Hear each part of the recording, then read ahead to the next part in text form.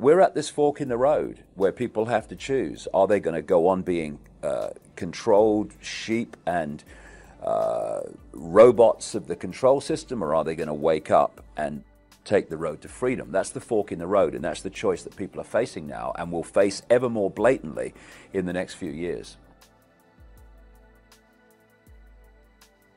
The power of human consciousness is demonstrable by the fact that despite all the things that are thrown at us, the cradle to grave programming, vast numbers and an exponential curve of numbers are now waking up from it. And it's this awakening that is going to bring this control system down. This awakening will have reached the point where the tipping point comes and this control system comes down because the control system is absolutely founded completely uh, in terms of its existence on humanity being there and not there. They may seem confident and arrogant, and it may seem like that, and it will seem that for, like for, uh, that for a few years, but it's coming down, and it's coming down because humans are waking up.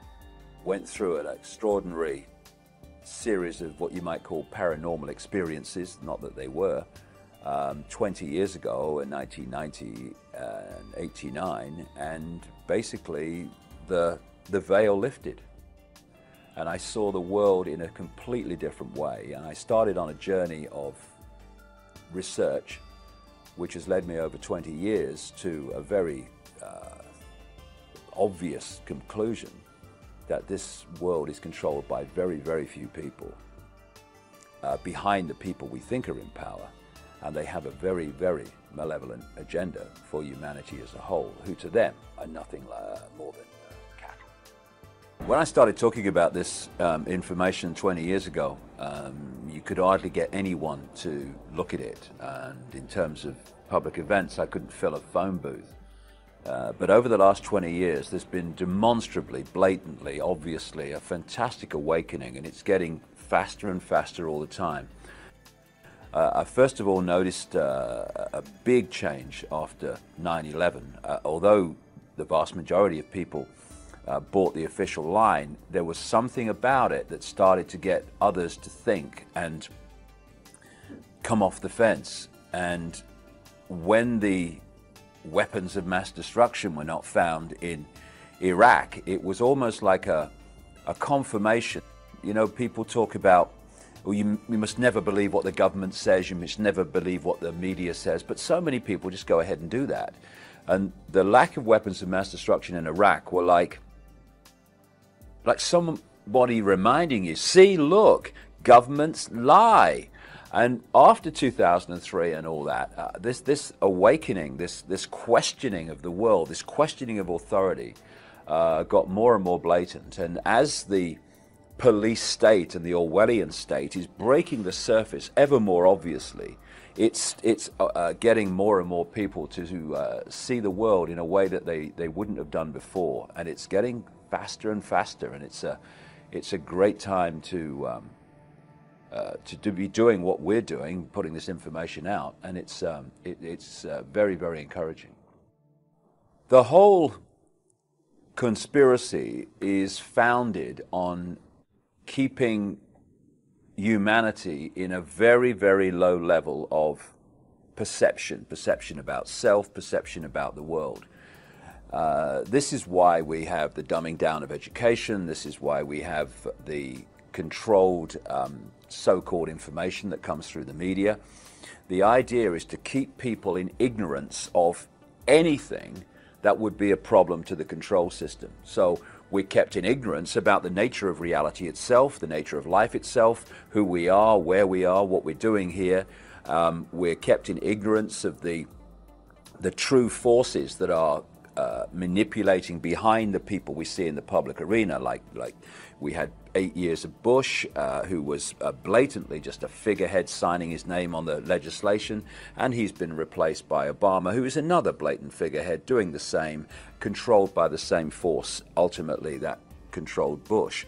Now, all these connections have to be kept from people uh, so that we uh, behave and perceive the world and everything in a way that suits the control system. So, any awakening any opening of the mind to see things that people didn't see before is a real big problem um, for the uh, the conspiracy, for the, the manipulators.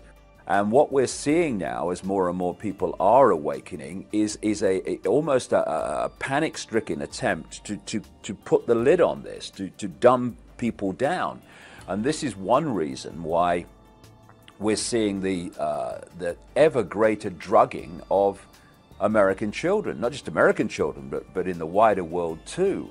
While we're seeing uh, more and more of these uh, chemical cocktails in food that destabilize the, the body's um, uh, chemical balance, and more and more electromagnetic pollution to destabilize the the body's uh, electrical electromagnetic balance. All of these things fundamentally affect the way people see the world and their ability to think sharply, to think straight, and to see um, it, it, the peripheral vision which you need to see what's actually going on. They want us here.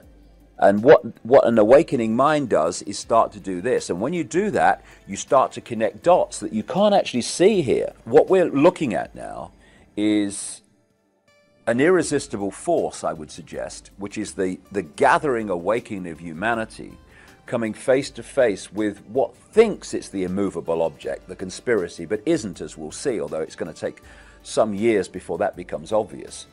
And, uh, and so uh, we're at this fork in the road where people have to choose. Are they going to go on being uh, controlled sheep and uh, robots of the control system, or are they going to wake up and take the road to freedom? That's the fork in the road, and that's the choice that people are facing now and will face ever more blatantly in the next few years.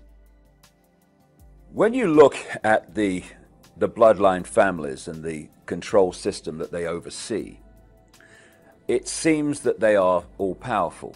They control the media ownership level and at key positions within it. They control the corporations, the cartels of oil, of pharmaceuticals, etc. Uh, they control the, um, the forces of law enforcement and uh, the military, ultimately. But one thing they don't control is the numbers.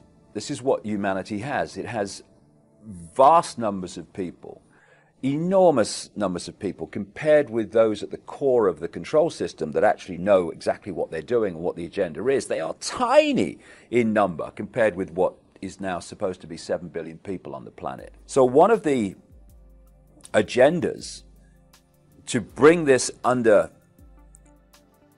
greater control for them is to massively cull the population. They want to reduce the numbers.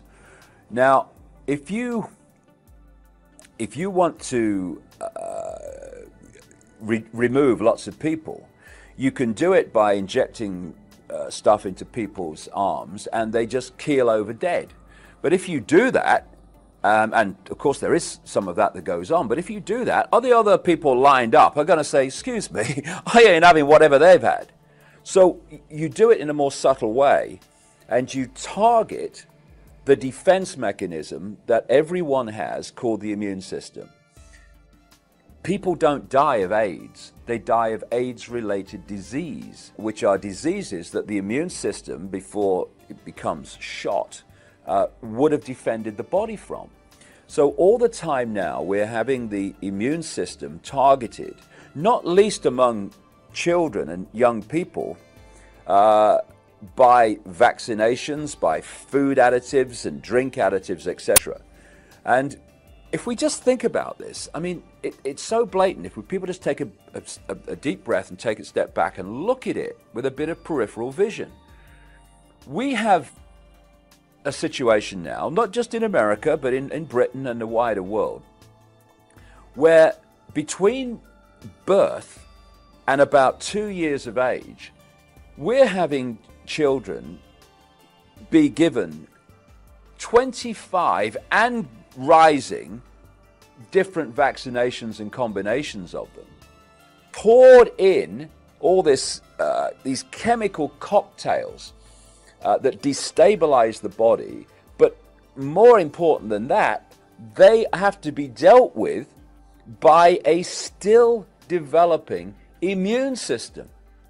So the immune system's still developing, it's still coming up to optimum uh, efficiency, and suddenly this tidal wave of chemical concoctions is thrown at it and has to deal with it. As it's deal, dealing with one, suddenly another one comes. 25 vaccinations over the first two years of life. It is, by any level of common sense, it's ludicrous, and it's meant to be ludicrous because it's target, targeting the immune systems of young children, which, because it's done at a developing time of the immune system, rewires destabilizes it, imbalances it for the rest of their lives. Those kids' immune system will never be as efficient as it would have been otherwise. My son, he's now 16, um, he's never had a vaccination. He's six foot five, incredibly healthy, never had a childhood disease. And his mates at school had childhood diseases. They had the whole blooming lot. And it has been planned for a very, very long time. you can pick up the confirmation of this in different points through um, history. To have a situation where you manipulate a mass global vaccination program uh, to target the population uh, at one time. We're seeing this now with the swine flu. I was told in 1997 by a CIA scientist who asked to meet me to get lots of information out that he couldn't, that in 1997, in the secret projects and the underground bases, they had microchips that were so small they could be inserted uh, into people through a hypodermic needle in vaccination programs, and that was the plan. Is that, that our name, our job, our experience is just that an experience, and we are consciousness. That change of point of perception, point of observation of this world transforms everything. You go from this to this, and you can see what the control system doesn't want us to see, and that's why the control system is absolutely structured to hold us in that, in that state. The power of human consciousness is demonstrable by the fact that despite all the things that are thrown at us, the cradle to grave programming, vast numbers and an exponential curve of numbers are now waking up from it. And it's this awakening that is going to bring this control system down. Not tomorrow, not next year, not the year after, not in 2012, like so many people kind of talk about. This awakening will have reached the point where the tipping point comes and this control system comes down because the control system is absolutely founded completely uh, in terms of its existence on humanity being there and not there. And uh, so um, they may seem confident and arrogant, and it may seem like that, and it will seem that for, like for, uh, that for a few years, but it's coming down, and it's coming down because humans are waking up. And this appears to be what's going on in the world, but actually it's just a stage show that manipulates human perception so that we accept things happening, which increase all the time the control of this system uh, over the mass of humanity.